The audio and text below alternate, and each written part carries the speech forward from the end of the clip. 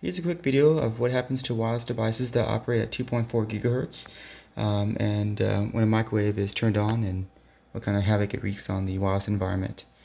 Uh, I have an Ekahau Sidekick device to do the spectrum analyzing.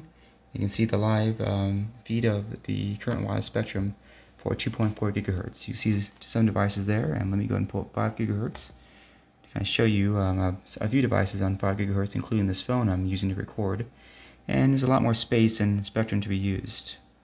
Um, let me switch back to 2.4 to show the current environment.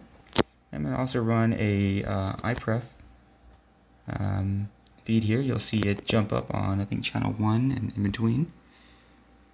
There we go. And everything else is kind of really crazy. So we're offering in between, what is that, 40 megabits per second or so. Um, and we go ahead and get the microwave started and we'll see what kind of um, noise that introduces into the network.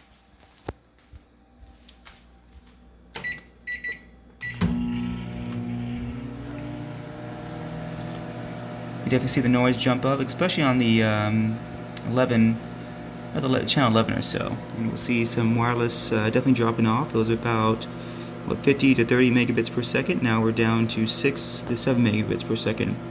Earlier when I was testing this, um, it was operating at channel 6 and I was getting complete drops of 0 megabits per second for um, multiple seconds. Um, a lot of packet loss happening. But when it's operating channel 1, it appears to do a bit better, but we're still seeing wireless drops happening.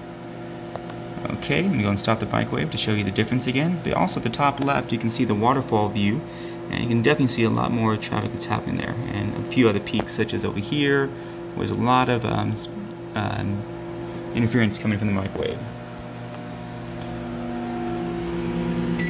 Now, microwaves are RF shielded, but obviously there is a lot of RF still coming out of them. Um, let's see, we'll see things calm down a bit. And then we'll of course see the speed return as well. Okay, there you go.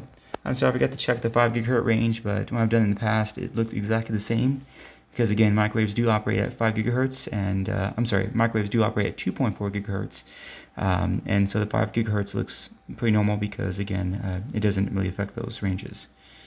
Okay, and yeah, here we go.